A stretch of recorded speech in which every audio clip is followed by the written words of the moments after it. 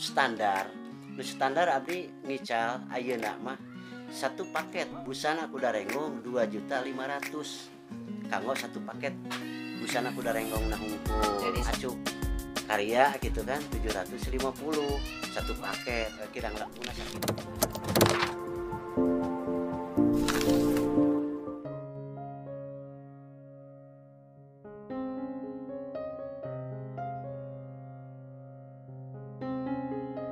Assalamualaikum warahmatullahi wabarakatuh. Sampurasun pemirsa channel youtube Jin Yantea. Saat ini saya berada di Dusun Cibodas Desa Padamukti Kecamatan Solokan Jeruk Kabupaten Bandung Jawa Barat Indonesia. Kali ini saya akan berkunjung ke rumah pengrajin baju kuda renggong.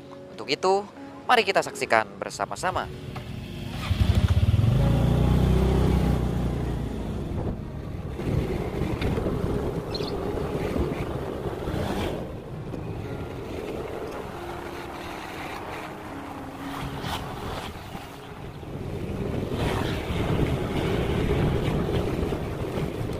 Pemirsa, saat ini saya sudah sampai di rumahnya Bapak Ukon, pengrajin baju kuda renggong.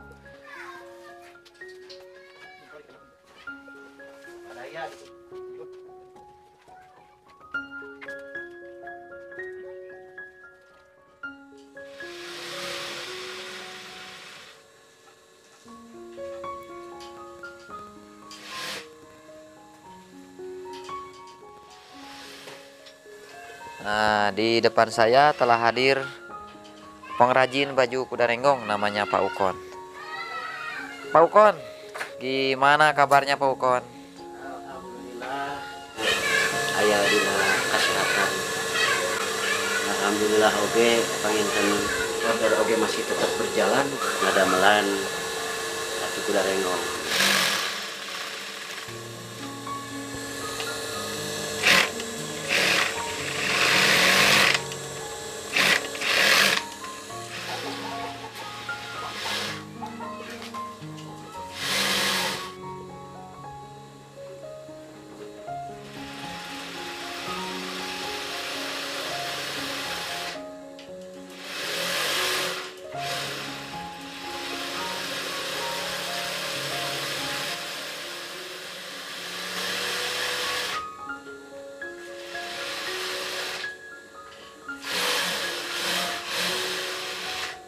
Pak bikin baju renggong ini dari tahun berapa?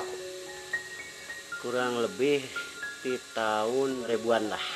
Awal-awal penggarapan gamelan acu kuda bari jeung teu acan layak kapungkur mah sih tah belajar gitu tah. Alhamdulillah semenjak kena sareng almarhum Paku Encep saat ayeuna Alhamdulillah upami tema Abdi tos aya peningkatan asa oge gitu kan muridkeun di antawisna pengintan anu eh, aya di dieu teras anu di luar wilayah oge aya gitu.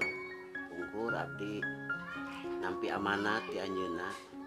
Seandainya aya anak-anakan bapak anu Bandung umat di disaha-saha anu hoyong upami tema belajar. tina perkawis eh, ngadamelan busana kuda. Abi oge upami temah henteu ngawalkeun dina perkawis ilmu mah gitu. Naon margina? Ilmu pan harus diamalkeun. Tah abdi painten ayeuna emut ka e, eh, almarhum gitu kan numasian ilmu kapribados ami teh mah ayeuna tiasa metik hasilna sur sepuh teh mah. Ka ala buahna. Alhamdulillah kehidupan pribados oge syariatna upami panginten henteu eh, lari karena penggarapan busana kuda walau walam panginten kehidupan abdi seperti kumaha Pak untuk menyelesaikan pakaian kuda renggong membutuhkan waktu berapa hari Pak? kanggo penyelesaian satu paket eh, busana kuda renggong ti nol sampaikan ke akhir kan upami aya dina kalancaran digarap ku tilu Jalmi gitunya pribados teras anu ngabantosan ayah dua Jalmi. Eta teh kirang langkungna lima hari gitu kamu pribados mah jantan tetiasa cepet naon margina gitu kan. Nyalah abdi sanes bade ngagampangkeun tina e, perkawis pada melan ieu. Kahiji panginten di periogikeun keuletan kedua ketekunan nah di antawisna eta nguji oge kesabaran gitu. Nah ketika ayeuna proses di awal sampai ke selesai kadang-kadang eh, empat hari tiasa gitu kan kadang-kadang lima hari oge tiasa. Tergantung kelancaran anak eh, prosesnya gitu. Untuk pesanan baju paling jauh ke daerah mana Pak? relatif. Wilayah Kabupaten Bandung di Sumedang oge aya terus anu di Majalengka oge kadugi di Subangna oge gitu. Berikut oge di Cirebon. Alhamdulillah eh, di percantan oge gitu. Sok sanaos ayeuna kan tebih di Cirebon. Tapi pengen teu kitu naon margina da rigi teu pahili gitu kan. Bagja teu paala-ala Pak untuk satu paket pakaian kuda rengong sama pakaian anak sunat biasanya dijual berapa Pak? kadang-kadang harga jualnya gitu kan. Anu standar. Nu standar abdi ngical ayeuna mah satu paket. Busana kuda renggong dua juta lima ratus kanggo satu paket. Busana kuda renggong nah hungkul Jadi- acuk karya gitu kan 750 satu paket Eh, kirang langkungna sakitu lah. Jadi satu paket baju kuda 2 juta 500 dua juta lima ratus. Baju anak pengantin sunat 750 tujuh ratus lima puluh ribu. Untuk ornamen-ornamennya Pak, apa saja yang dipergunakan oleh Bapak untuk membuat pakaian kuda rengong Pak? anu hiji panginten diperyobikan oge eh, bahan anu disebat plasmen gitu kan.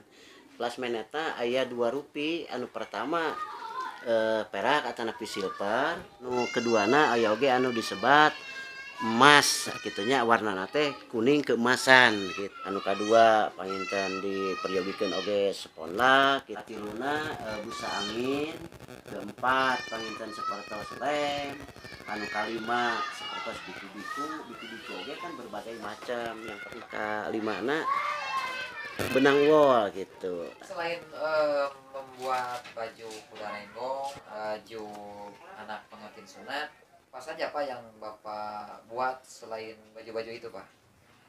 Ya, selain eh, penggarapan karena busana kuda renggong di antawisna aya gitu kan sebaraha eh, bagian aksesoris dan kebutuhan eh, alat kanggo penampilan kuda renggong gitu nya wisna iya gitu kan. Ayeuna iya masih kene aya alat anu diperyogikan sepertos eh, amban gitu kan. Amban nyata anu kanggo karena yeuna gitu. Perut kuda Pak? mohon upami bahasa eta mah sabuk panginten gitulah. Di antawisna terus ayeuna lebrak lebrak anu kanggo di punggung kuda.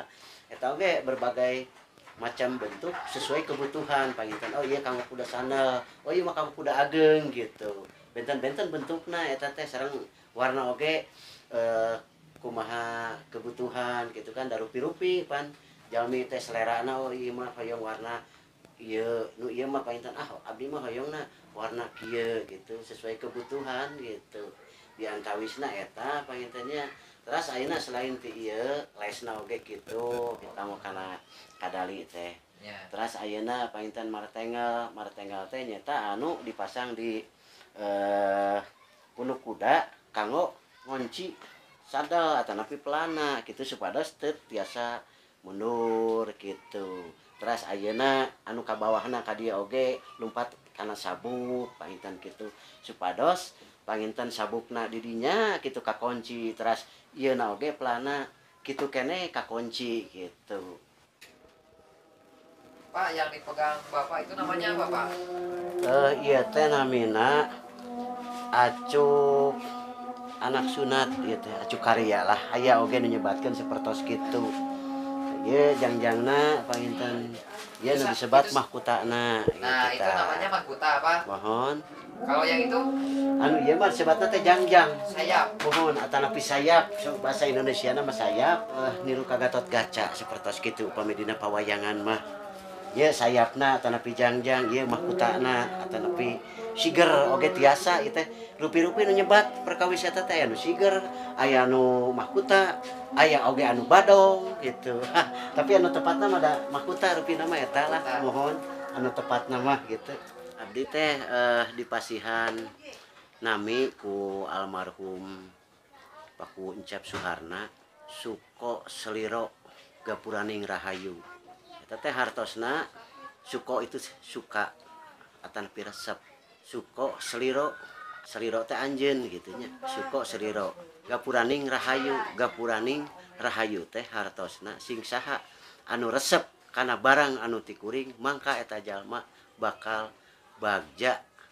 Atanapi Rahayu gitu. Kirang langkung nama eta pengintan Abdi Oge eta pemasihan ti sepuh kapungkur dipasihkan ke Abdi teh piwarang. Eta teh amanat gitunya piwarang eta di eh, langgengken dipasang. Nyata dina spanduk painten ku sim kuring dipayun anu disebat suko seliro gapuraning rahayu Tak eta painten ciri nama mung sakitu ti pribados hapunten anu kasuhun kirang langkungna nyunkeun di hapunten. Wassalamualaikum warahmatullahi wabarakatuh. Sampurasun. Mirsa, sekian jalan-jalan saya di Dusun Cibodas, Desa Cibodas, Kecamatan Solokan Jeruk, Kabupaten Bandung, Jawa Barat, Indonesia. Semoga tayangannya bermanfaat. Mohon maaf atas segala kekurangannya. Bila itu wal hidayah. Wassalamualaikum warahmatullahi wabarakatuh. Sampurasun.